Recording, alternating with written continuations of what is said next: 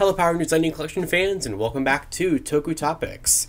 Today I'm taking a look at the GameStop exclusive Power Rangers Lightning Collection Mighty Morphin Yellow Ranger Power Morpher. So this has been out for a very long time, uh, and of course I'm only now getting to it now on the channel for a couple of different reasons. So mainly with this whole thing is that these are just a lot of money, these Power Morphers that they've been making. We've had, this is now the third one in the line, uh, following the Walmart one in 2020, and of course we had the Pink Ranger one in 2021 at GameStop, and now in 2022, even though I'm covering this in 2023, we've had this one here for the Yellow Ranger. And I don't dislike these morphers that are very, very much, of course, supposed to be based off of the 1995 movie. There's nothing in the box that implies that in any regard. Uh, in fact, there's next to nothing at all that even is trying to show that it is because it has like the Yellow Ranger artwork and everything there from the show.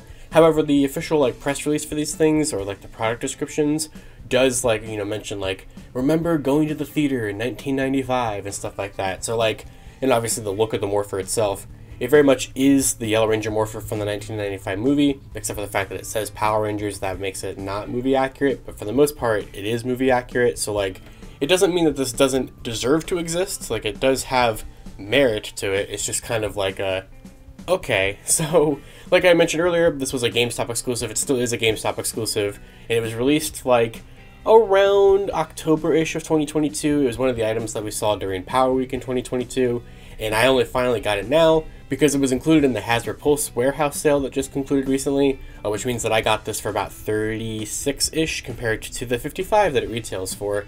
And being a completionist in the Lightning Collection, I figured, alright, I guess that's good enough of a time to pick it up here. So, of course, this is our first one of these, uh, kind of our first one of these that's in plastic-free packaging, but like the Pink Ranger one last year essentially was in plastic-free packaging, it just wasn't like advertised to be so, you know, it's before the whole thing where like everything had that.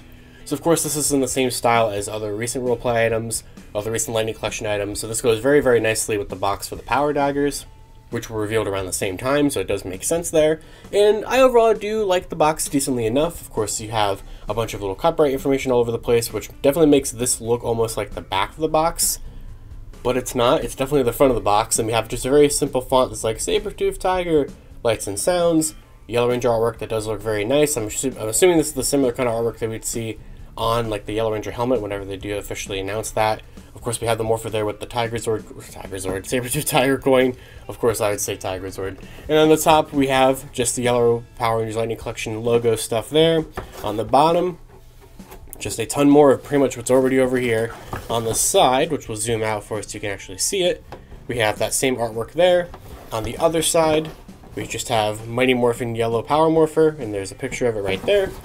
And then on the back, we see everything that we get with this, which if you have the Pink Ranger Morpher, you pretty much know exactly what you to get with this or what you should expect with this. So even though it is Yellow Ranger focused, you do get all five power coins. And then what's so strange to me is that you do get those little cardboard, uh, like, pogs that everybody was calling them, because that's, that's exactly what they are. For some reason, you know, the Pink Ranger one is the same way. They don't advertise that, but you get them, and I actually prefer those to the power coins. But you do get them. You can see you have the different uh, like light ups, different effects for each of the power coins because even though, like I said, this is Yellow Ranger focused, of course, it does have sounds depending on which coin you put in there. Uh, all three of these morphers have done that, which is still kind of neat. But if you have any of the other morphers, you pretty much know what you're getting with this. So let's go ahead and bring in the Yellow Ranger Power Morpher.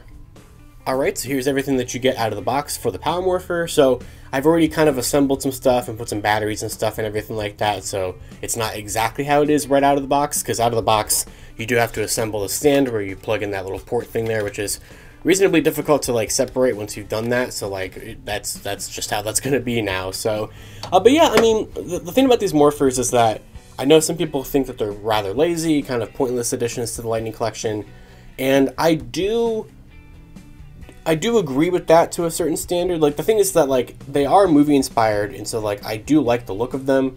And the the extra thing that they added to make them not movie inspired, I suppose I don't know if that was intentional because I don't know if they're actually allowed to do like movie stuff, so they might have had to do that little design choice with the Power Rangers name there. But with that aside, it is like a valid release of this Morpher. It's just that in you know due to the fact we only have the regular Morpher and now pink and yellow's movie versions, and we're gonna get the Master Morpher later on this year it just seems like they're doing the weirdest options for this particular mold instead of like going straight to the Tommy one or you know straight to like other versions we haven't had.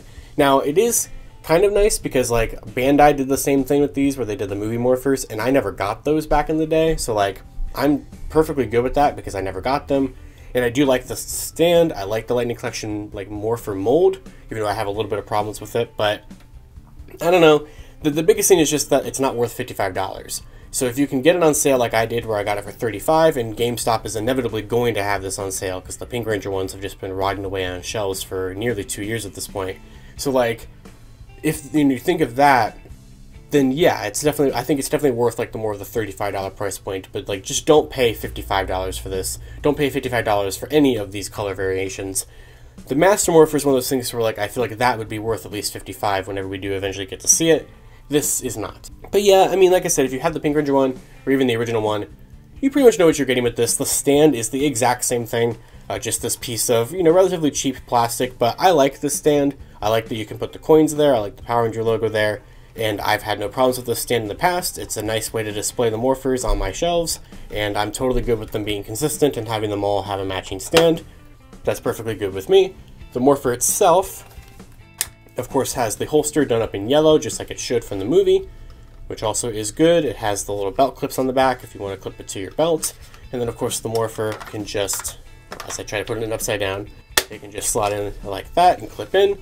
And then I don't remember, I, yeah, you can kind of have it rest in there backwards if you're trying to do like a Zyuranger kind of thing, but it's not necessarily clipped in there, so you might not want to do that just for like, you know, to risk not breaking it. And of course the morpher itself, you can see that Power Rangers logo there caught in the light. Because like the movie morphers don't have that, they're just like a red ring uh, with the bolts painted to whatever color the Rangers are. In fact, actually, in the, in the movie, we never even see the backs of these. In the movie, they just like hold this entire thing up like this, which was kind of weird and kind of funny. So we actually never got to see the backs of these. Now, if I remember correctly, when Bandai made legacy versions of these, they painted the backs of the movie morphers silver just to have them be a little bit different. I don't know if that's like technically movie accurate since we never saw that. So like I can't fault Hasbro for not doing that that was kind of a cool thing that, that uh, Bandai did with it, but like, yeah, it's perfectly good without it. But yeah, I mean, it's the same mold as the other two, and I'm not surprised, and I'm sure going to be the same mold as the Master Morpher. They can, they can do a lot of versions of this thing. So, you know, if you count Tommy's regular Morpher and Master Morpher as separate things, the seven movies and then the regular, or the seven movie Morphers and the regular show, that's what, like 10 different molds that you can get out of this. So, like, I fully, fully expect, and would actually like Hasbro to fully take advantage of that. It's just one of those things where it's like we're doing the more not exciting ones first, which is probably the point. Like I it's one of those things where like we haven't had any rumors or leaks of them doing, you know, red, blue, black and white from the rest of the movie. Uh, we just have yellow and pink, and I hope that they do the other four movie morphers, but at the same time, we don't need to really get to them super quickly, especially as these are going to rot away on clearance, unfortunately. Unfortunately, but yeah, it's not a bad toy. We do have, of course, the handle there. I know a lot of people obviously prefer the legacy version of these morphers, which of course definitely have the more significant weights to them. They had the die-cast plates. They were obviously also a little bit more expensive than even these are. So like, you know, it's kind of hard to compare them. Now, of course, I already have the Saber-Tooth Tiger coin in there, but of course, now I'm, I'm going to see if I'm going to have to make a cut here because I was playing around with this morpher and sometimes the sounds were cutting out, and I don't know if that is I have like bad batteries in here and just need to change the batteries, which are not included by the way. Uh, you need three AAA's for this, so you know keep that in mind if you're buying the toy. So I don't know if it's just I have bad batteries in here or if mine actually has some like faulty electronics, but we'll see. We'll see what we can do with this uh, for this video. But of course, when you have the Saber-Tooth Tiger coin in there or any coin in there, and you click the button, you get a morph, which didn't work. Oh, see, there we go. It was cutting out. Let's change the batteries. Oh, oh, oh. Let's change the batteries and see if that helps anything. Let's try that again. It's morphin' time! There we go. So, now what's cool about this too is that since it obviously is uh, movie inspired, that is supposed to be Aisha's voice coming out of this and not Trini's. There's no Trini voice phrases on this thing uh, which makes sense because like the the Pink Ranger one, which was also movie inspired, of course, had Kimberly phrases and not Kat phrases. So you get very similar thing where you get that you know pulsating glow after you do the morph, which is just going to kind of last forever. But it does look nice. I do like that. I am honestly not sure because the instructions don't help you at all, and I'll, I'll prove it with it. Uh, here are the instructions. Oh yeah, that does eventually stop, but you have the instructions right here. And it just shows you, hey, batteries go in there, you can do this, you can how you swap the coins, how you use the morpher. It does not specify at all how many phrases each of the coins have. So I'm going to hope that I show all of the phrases, or at least most of the phrases for each of the five coins, but I genuinely don't know how many phrases are in here because there's just, they don't tell you. So like, there could be five, there could be ten, there could be three, I have no idea. So that was one of them where she said it's morphing time. And compared to the, to the Kimberly sound alike, because it's not actually, or it wasn't actually Amy Jo Johnson, and it's not actually Karen Ashley for this, I don't think it's terrible. Like, I definitely do hear Aisha in this. I don't really know why they didn't just bother to get her back. I'm sure Karen Ashley would have come back to do this toy. But, uh, I don't know. It's not terrible. It's not a terrible version of Aisha. So, of course, everything you do with this toy, closing the plates, opening the plates, makes it make a noise. And to get a new sound, you just have to keep closing and opening the plates again.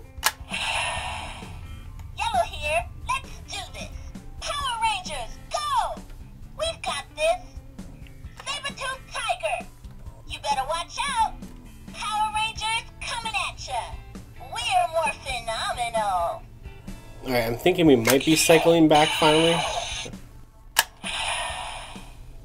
here. Let's do this. So I think it's I did I think it does follow a cycle. I don't think it's a randomized thing. So I, what was that like six, five or six phrases there?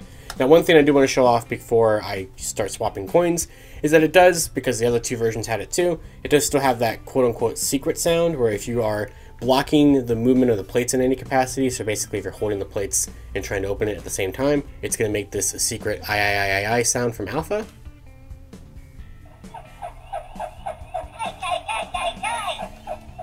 So that's fun. I do like that. And of course, once you open it Power Rangers, go! and you click the button,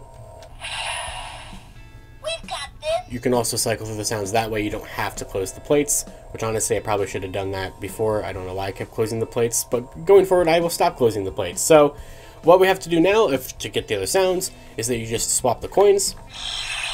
So you just twist and pull it out. And of course the coins all have, they're all die-cast metal, and they have the Ranger helmets on the back of them. And they are the exact same coins that you probably already have from the other two morphers. So this is my third set of these coins which is kind of annoying because I don't need that many sets of these coins, but like I get it because like you know they, can't assume that you have the other morphers, so like I totally understand that, but I just I never thought I would have so many sets of dinosaur coins, that's for sure. And it is it is unfortunate that they didn't make ninja coins for these. You know, it would have been cool if you had Saber Tooth Tiger and of course also the bear, but you don't. Now for these, even though it is the Yellow Ranger Morpher, basically every time you put a different ranger's coin in there it's going to change the phrases from aisha to have different like red ranger focused things or like where she's talking to rocky or black ranger focused things you know pink ranger focused things etc so let's go ahead and test out the rocky phrases.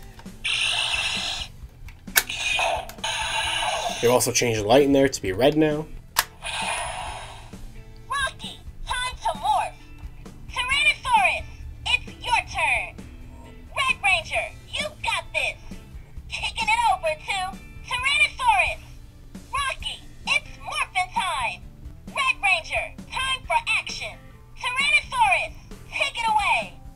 lot of these are gonna be very similar, where she's like telling the ranger to morph, or like saying something about like, you know, Tyrannosaurus Red Ranger power, or whatever, or whatever it is. So like, these are gonna be very repetitive, and they're not as like unique as like Aisha's specific quotes, but still, you know, it's a cool feature nonetheless.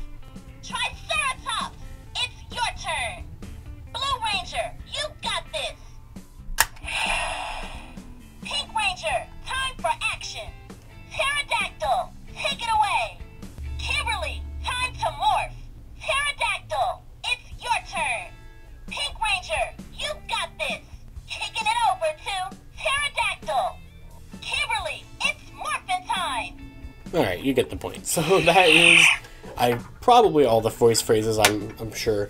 So we're gonna go ahead and go back to just default saber-tooth tiger, because that's what people are gonna want to display this as.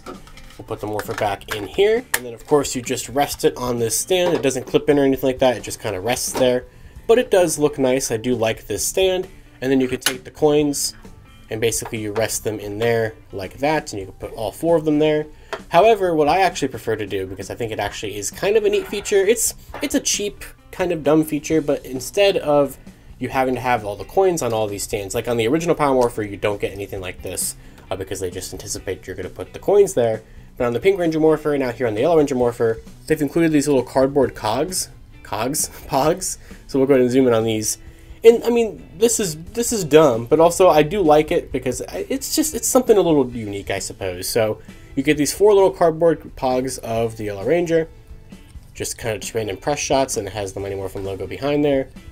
And you get this one, you get this one, and you get this one, and then basically the idea is you can just take them, but that's zoomed out too far, you can take them, and you can just set them on there like that, and you know, well, I like that well enough. That is perfectly acceptable. Or you can put the coins there, you know, whatever you want to do.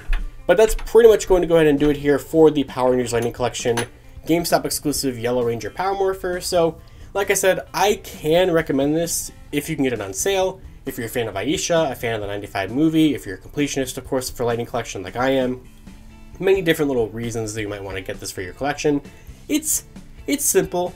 It's kind of dumb, but I do like it overall. I just would not pay $55 for it, so definitely try to find it on sale if you can. But if you can, I can recommend it, and I think it's decently okay to have and kind of cool to have on display with the Pink Ranger one or the original one as well. So let me know down in the comments below, do you have this Morpher? Do you have the Pink Ranger one or the regular one? Which ones do you want to see Hasbro do next? And what do you think of these movie-inspired Lightning Collection Morphers?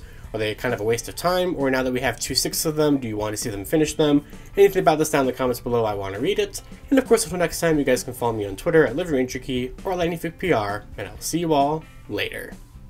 To wrap up this video, I'd like to thank my $5 and above patrons, Jurassic Samurai, Maggot Alchemist, Robert Browning, Static Thunder, Brendan Overland, Maji Yellow, Redstone MCPC, Comix 1017, James Darty, Monster Rocket, John Luke, Eric Berry, Tyler Bazetsky, Matthew Thorne, Josh Landry, Pyramidas, CPT Tesla, Cross SCV, Caboose ED, Socket Monsters, and Anthony Love.